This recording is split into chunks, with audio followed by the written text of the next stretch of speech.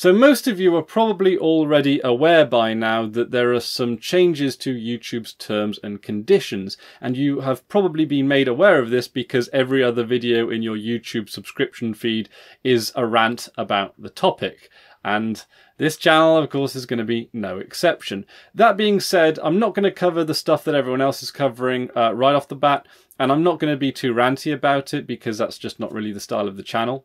Uh, in fact, what I'll do is I'll link a video down in the description. It's by Philip DeFranco, who's who effectively broke the story and provided most of the information that most of these rant videos are based off of right now. But I'm really just going to talk a little bit about what it means for the wider YouTube ecosystem and all that kind of stuff. But just before I get into the uh, the real content of the video, I'm going to take this as a good opportunity to plug some of the stuff that I do that's not on YouTube.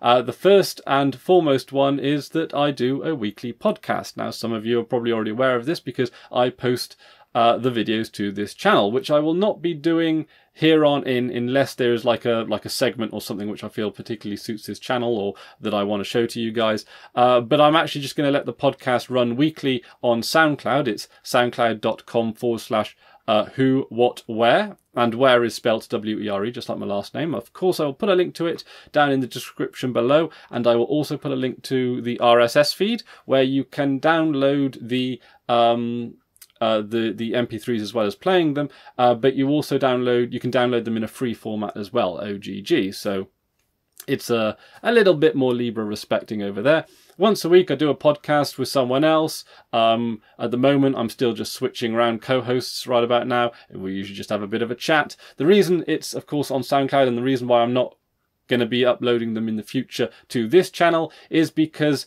it like a lot of the stuff we talk about even though it kind of still focuses around tech it's not the same kind of tech that we talk about on this channel um, and some of the people you know and and uh, actually the, the the podcast videos that get uploaded to this channel are some of the most heavily downvoted videos uh, on this channel uh, which is it's like it's sort of understandable because their format and even their content is a little stride away from uh, the usual content on this channel.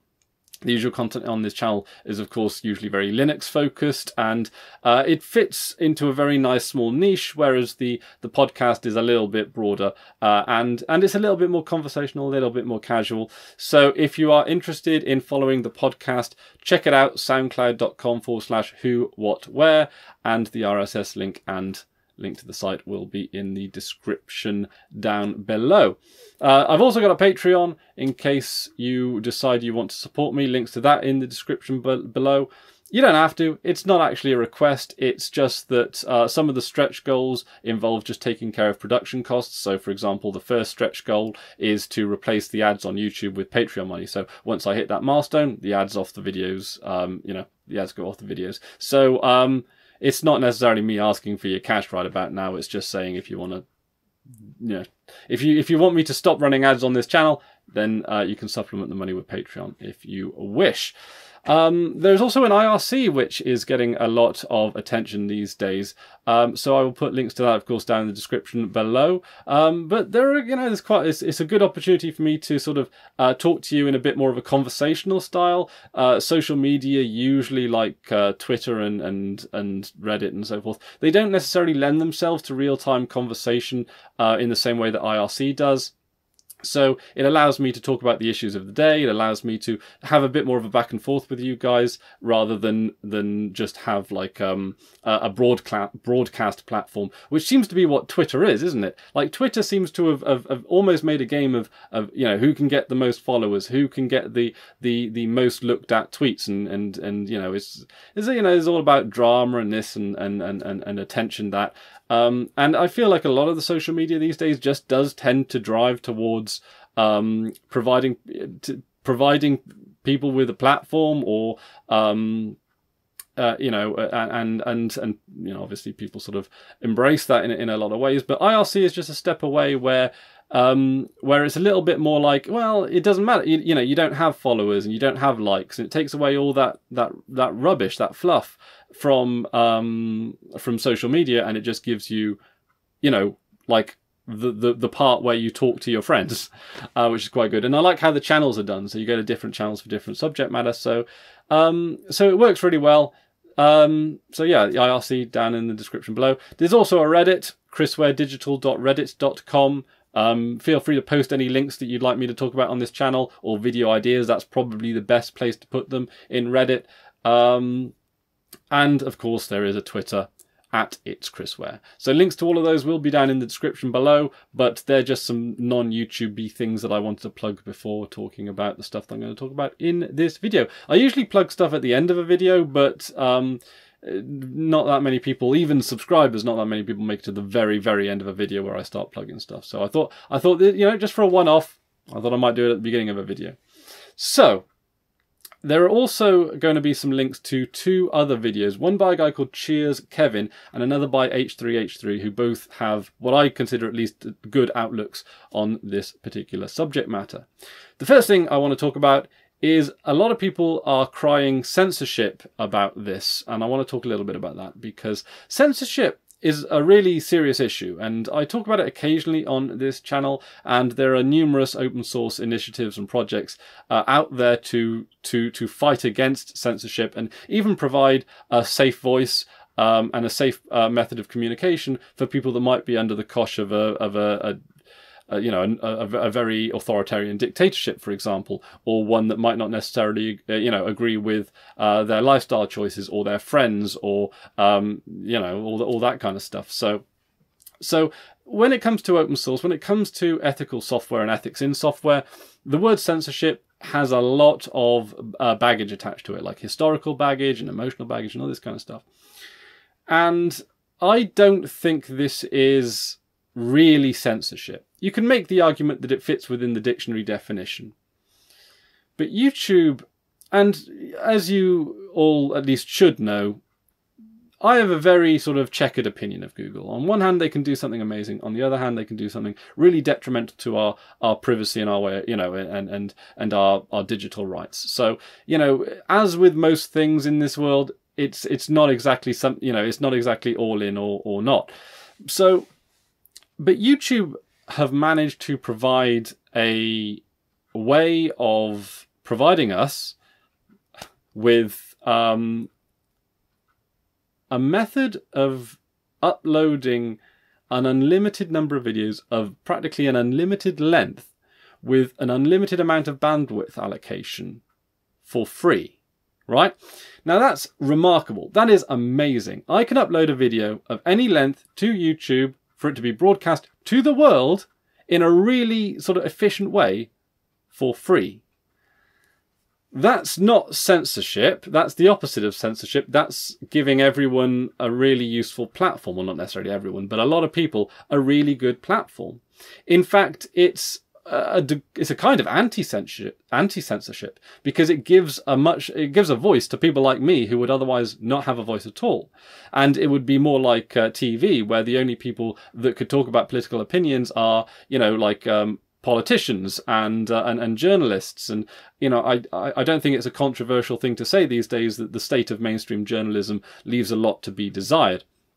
So I think from that regards YouTube has done more um, to give a platform to people that don't usually have one than it has to shutting people up. Now, that being said, you can make the argument, well, if YouTube now get to decide which videos are profitable and which aren't, is that not potentially a way to shut down um, political speech, for example, as they have outlined? Um, and yes, but because this is YouTube's platform, YouTube do kind of have a right to to censor. Um, and they do censor. You know, you can put inappropriate content. If you put like porn up on YouTube, it will get taken, it'll get flagged and taken down. If you put copyrighted stuff up on YouTube, they'll try and flag it and take it down. Um, and sometimes if you put completely uncopyrighted content up on YouTube, uh, it'll get flagged and taken down as well. So, um, so there is censorship already. Uh, censorship against copyright, censorship against uh, like adult content, um, and uh, so so this isn't exactly like the introduction of censorship. And the thing is as well is that advertisers will do what advertisers do. Um, that's not really a great way of explaining it. Um, basically, this has already been in play for quite some time anyway.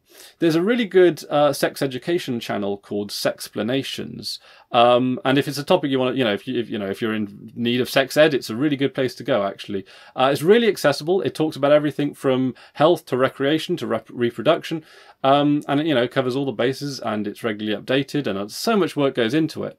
There are videos on that channel with over a million views that have made like pocket change, and I think that that's that's that's really um, that's really a crime because there is so much that can be learned. Especially, there are so many countries in this world where sex education is terrible.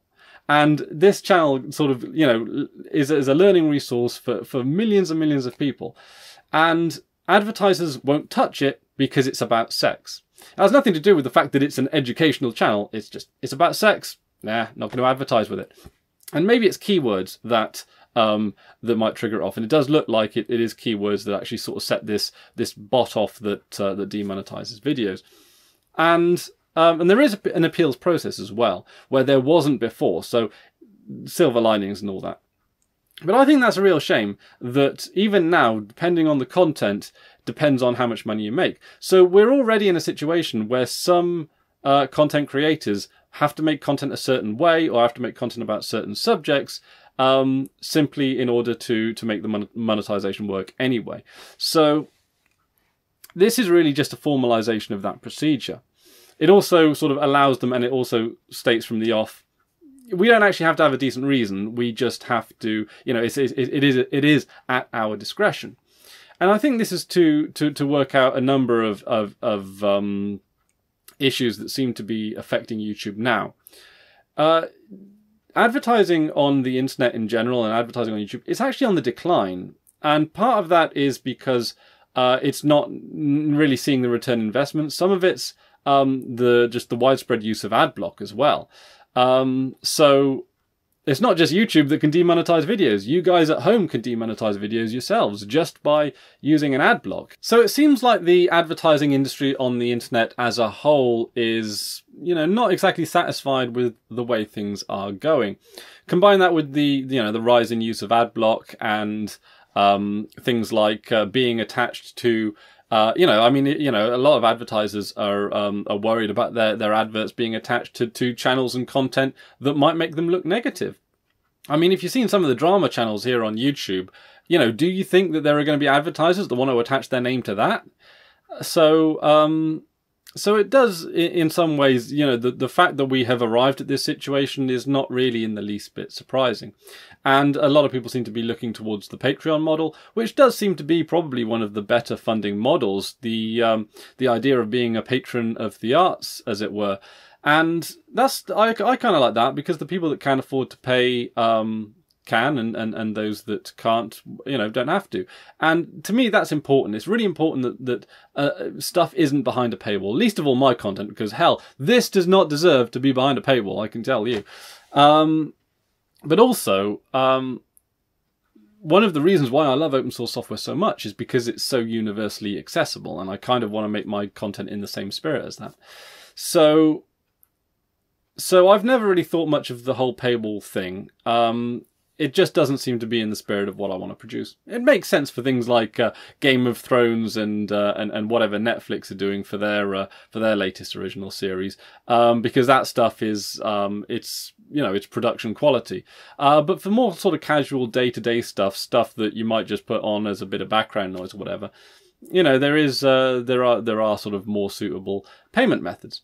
There's also, uh, as I've uh, reviewed on this channel previously, the Brave browser uh, from Brave.com, which is a pretty decent browser actually, new into the mix. It was started uh, by an ex-employee of Firefox and based on some of Chrome's or Chromium's uh, technology. And they've come up with, uh, yeah, this Brave browser, which has a built-in mechanism uh, which allows you to uh, contribute to websites. Now, I've not actually tried this out. I've just, I literally just read the feature um, uh, come up on their website today. So I don't have any idea like how fully implemented it is, but they're certainly intending on rolling this feature out as a uh, as a sort of a um, a flagship element of this browser. And the idea is that you can visit a website and you can uh, you can financially support a website that you like through the Brave browser. Um, which I think is really quite good. Uh, they do talk about replacing ads on websites with the Brave ads, and then giving a share of those ads to the uh, to the publisher of the content as well. So it does look like Brave want to replace the traditional advertising system we have with one that's a little bit fairer to to everyone and that fits within a bit more of a standard uh, system. And it would be really great if in the future this would this this um, technology would be implemented into other browsers and it would just be uh, like a natural course of events where you'd be surfing the internet you come across a website or an article you like and then you just throw in a few you know a couple of tips. Almost like um, like buskers on a high street who play music and people tip them as they go which uh, which is you know that's that's kind of the way I see the internet and and and, and that I think would be a good way forward as well. I think advertising certainly has its merits as well, and this channel is um, mostly funded by advertising. And it does have an impact as well. Like I'm certainly not a fully funded professional YouTuber, that uh, you know, not by any stretch. But um, well, but I'm self-employed, and when you're self-employed, it becomes very apparent that when you do unpaid work, that's that is money straight out of your pocket because you've only got X number of hours in the day. You don't necessarily have a, you know, nine to five hours as well. So, you know, with all this time and all this scheduling, scheduling balancing up, free work costs more money to like a self-employed person than it might do to someone with a nine to five. So when it comes to things like YouTube, even though I'm not getting like a particularly large amount of money, I'm getting enough money that uh, this hobby can then pay for itself and then I can do more videos than I'd otherwise be able to do. Because if, um, you know, if I wasn't, you know, if YouTube wasn't, um, you know, wasn't monetizing my content, there would be a lot less videos on this channel. Um, simply because I'd need to spend that time doing paid work. Uh, now, fortunately, you know, like th th these videos actually draw in draw in a fair amount of work um, themselves, so they kind of work as the ad in that regard. But um, but uh, yeah, like monetization on these issues, like it is important and it does affect um, sort of our, our, you know, like how how how we make videos in in in you know in, in its rawest term, how we can afford to, how it fits into our lives and all that kind of stuff. So uh, I think I've said just about everything that I want to say, um, but yeah, I, you know, I don't think this is really censorship. You can make an you, you can make an argument that encouraging some kind of content over others is a kind of censorship, but uh, YouTube don't necessarily have an obligation to provide you with a platform. That being said, there is a counter to this. Uh, and I'm going to use the um, electoral finance system of the United States as an example here. Uh, but effectively, right, say there is an election for, I don't know, any given election, right? Um, governor. There you go, nice easy one, right? Now, and I am a person who is extremely wealthy and owns a business. Now, as someone who is extremely wealthy and owns a business, I am quite likely to be affected in a big way by whoever the next governor of my state is going to be. So it would make sense from a business point of view if I were to support a candidate that had my interest, interests at heart. Now, that's all well and good, but what if both of the candidates had my interest at heart and I wanted to make sure they stayed that way? I could donate large amounts of money to both of those candidates. I could even donate large amounts of money equally. I could donate a million pounds per campaign to each of these candidates. Now, those candidates have to listen to me because I have the power to withdraw money from one or the other. So what I've effectively done is made both of those candidates dependent on my financial contributions in order to get elected. And if I withdraw from one, it means the other would get an advantage, um, you know, by default.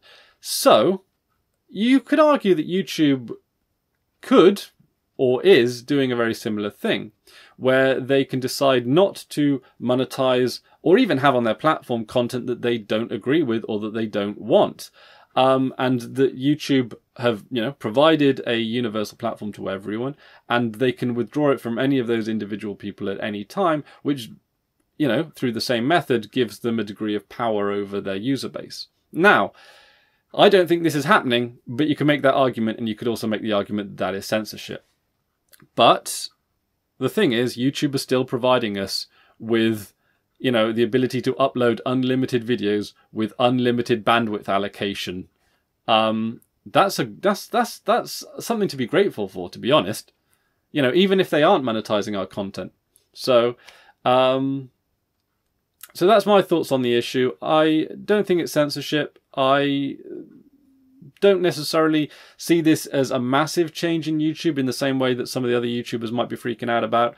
Uh, because they have been doing it to other channels for quite some time. This is just formalizing the process, and in fact, they have brought in an appeals procedure which allows people to actually uh, claim that their content is actually advertiser friendly and can challenge the decisions made by the the automated bots. So it does possibly seem like this might be a way to to try and generate a lot more uh, advertiser friendly content, family friendly content to basically bring YouTube into the living room. I mean, most people I know still watch TV the old fashioned way, but that isn't going to last that much longer. Um, and YouTube's got to get their foot in the door. You know, Netflix have their originals. Uh, you know, there's there's Hulu stuff. There's um, uh, there's Sky. Sky even have an online portal. ITV, Channel Four in the UK. Here, we, you know, we have an online portal. So there's a lot of ad- there's a lot of options when it comes to viewing online content from smart TVs and so forth. Um, and that's going to be the norm at some point. You're just going to buy a TV and it's going to have, you know, your BBC iPlayer. In fact, I'm pretty sure you can do that with TVs now, where it's just got iPlayer and Netflix already running on it. So YouTube need to be there, and they and, and it's not enough just to be a big enough brand name to be able to get their to, to be able to get their uh, app on a smart TV on that platform. That's the easy part. The the difficult part is then making their content and possibly even curating their content so that um, so that your average person on the street is going to to find it appealing. Uh, YouTube has has traditionally been a platform where where you know niche topics have thrived. It's like open source software. Um, but they you know, YouTube are going to have to have some degree of mass appeal if they're going to succeed on, uh, you know, on, on living room TVs and desktops and laptops are, are, are not being bought as much as they used to because people tend to be drifting more towards tablets and uh, and smart TVs for all of their their needs in that department. And of course, you know, why shouldn't they? So that's just a few thoughts on the issue. Um, thank you very much for listening. I look forward to hearing your thoughts down below. Don't forget to, of course, check out some of my non YouTube stuff. If you're going to check out one of them, check out the podcast because I have a lot of fun making that, but um, it's probably not going to be on this channel for, for, for much longer because, um, as much as I like it, some of you guys don't. So, um, so I do listen to your feedback. Um, so that's about it for me today. Thank you very much for watching. Um, and until next time, I've been Chris Were and you've been awesome. Take care now.